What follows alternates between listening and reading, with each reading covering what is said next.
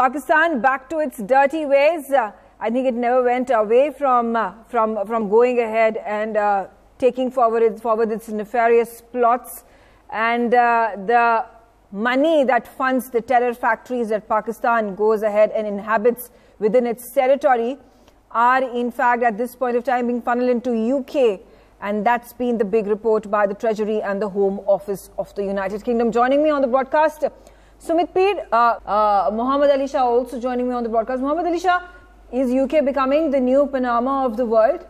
Uh, for Pakistan especially. Uh, and, and, and, and, you know, explain to us this, this peculiar UK-Pakistan ties that we see Prince Charles, we see Prince Williams, you know, every single time there is some sort of a, a, a, an interaction with them, there are visits that take place over there, despite uh, the UK government stand against Pakistan being very, very vehement and strong and, and in, in favor of Pakistan. You know, as uh, Dr. Sharat Koi rightly pointed out, that he was surprised that how come UK did not know of this money coming in. Because if you see logically, this money is going from Pakistan to UK and then coming back to Pakistan from UK. Mm. And the nations involved over here, like, you know, uh, Hong Kong, China, UAE, Pakistan.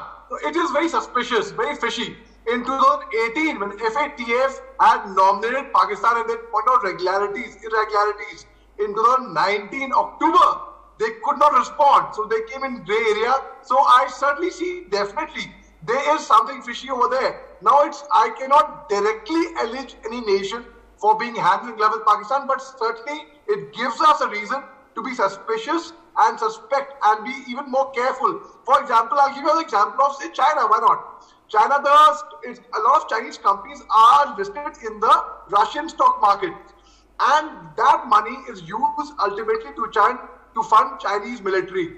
It comes into China. Similarly, now what's Pakistan doing? Pakistan is actually making a mockery out of itself. It's being a laughing stock because the world knows what they're up to. And if they can, you know, instead of using money on terrorism, if they can use that money in fighting corona or getting the vaccination into the country, it would be much more appreciable by everybody else. Let me tell you, in the year 2007 in Nagaland, we had caught a lady with black money with 10 lakh counterfeit notes. And when we integrated her, it all linked down to Pakistan. That money had come from Pakistan. Mm. So they not only are getting into luxury products like jewelry, uh, luxury property, they are leaving no stone unturned in money laundering, trying to convert illegal money into white. By you know, just we just pointed out by sending it to UK and then again coming back. So and Dawood Ibrahim has been in Pakistan for since God knows taking refuge over there since when. So this nation is totally incorrigible. Be it terrorism, IT, international terrorism, be it counterfeit notes, be it money laundering, be it anything, that nation will leave no stone unturned in, in, in indulging in its nefarious activities. Okay, all right, you've made your points. Uh, Muhammad Ali Shah, uh, go ahead, please make your point before I wrap up this debate. You know, uh, there have been at least six Pakistani banks which have been named in an investigation on the role global banks played in money laundering, which have been from Pakistan. And at least $2.5 million have been laundered over there. The International Consortium of Investigation, they have pointed out the six banks they have named, and we have the name of those banks as well. But yet, no, the government hasn't taken any steps to point it out and to blacklist them. The Allied Bank, the Allied Bank, sorry, the United Bank Limited, the Habib Metropolitan Bank, the Bank Al Falah, the Standard Chartered Bank of Pakistan, the Habib Bank Limited. So what is the government doing?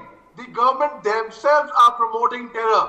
So it's proved, it's proved a number of times. Last year, on 9th March, in the UN meeting, when China put its foot down to declare Maulana Masood Azhar as a global terrorist, it took months to actually get him on the scale to be called as a global terrorist.